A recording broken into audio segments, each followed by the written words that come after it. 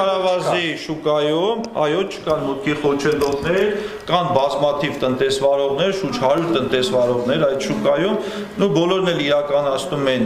ներդրումներ Շաքարավազի շուկայում, այդ թվում նաև նախկին արտադրող ընկերությունը, Alex Holding ընկերությունը, որը մնացած ընկերությունների նման իրականացնում է ներդրումներ եւ մրցակցում բոլոր ընկերությունները։ Շուրջ 100 ընկերություններ կան։ Եթե 4000 տոննա վերում է Coca-Cola, դա դեռ չի շնորհակալ որ ինքը Խոսքը Coca-Cola-ի, խոսքը բոլոր այն ընկերությունների մասին չէ, որոնք շաքարավազ ներ են կրում սեփական արտադրությունում օգտագործելու համար։ Խոսքը վերաբերվում է բոլոր այն ընկերություններին, որոնք շաքարավազը ներ են կրում վաճառելու նպատակով եւ շուրջ 100 ընկերություններ կան, որոնք այսօր ներկրումներ են իրականացնում։ Հեղափոխությունից հետո 100 թիվը ավելացել է հեղափոխություն։ Ոնց է փոխվել շուկան հեղափոխությունից հետո, ասեք։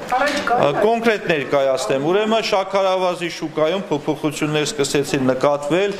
2015-16 թվականներից Եվրազիական տնտեսական միություն անդամակցելուց հետո հայտնվեցին այս շուկայում ուրեմն տնտեսվարողներ, որոնք սկսեցին ներդրումներ իրականացնել Ռուսաստանի Դաշնությունից։ Նու քանի որ ԵՏՄ անդամակցելուց հետո մաքսային ընթացակարգերը բարձեցվեցին, առևտրային պայմանները բարելավեցին եւ բավականին շատ տնտեսվարողներ սկսեցին ներդրումներ իրականացնել, մոտ 40 քանի տնտեսվարողներ կային մինչև անցած տարվա դրությամբ։ Սակայն պետք է նշեմ, որ դրանք հիմնականում փոքր տնտեսվարողներ էին, փոքր խմբականակներով էին ներմուծումներ իրականացնում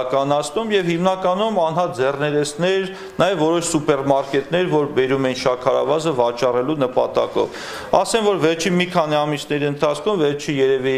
3-4-5 ամիսների ընթացքում ավելի է շատացել շաքարավազ ներգրողների թվականակը եւ ոչ միայն թվականակն է շատացել, այլ նաեւ խմբականակներն են մեծացել։ Ու ես ասեցի, մոտ 100 տնտեսվարողներ կան այս պահի դրությամբ, կոնկրետ խոշոր ընկերությունը, Alex Holding ընկերությունը, որ մշտապես եղել այս շուկայում եւ զբաղեցրել է շուկայի մոտ 98%-ը, այս պահի նրա կշիռը կազմում է 78%։ Իսկ անցած մի քանի ամիսների ընթացքում նվազել է Ես նշեցի, որ շաքարավազ ներգրողների թիվը սկսել է ավելանալ 15 թվականից, բայց վերջի մի քանի ամիսների ընթացքում ավելի շատ են ավելացել եւ խմբականակներն են ավելի մեծացել։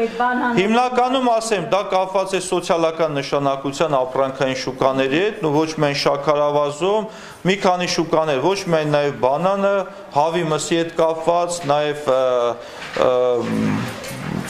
հնդկաձավար, ալյուր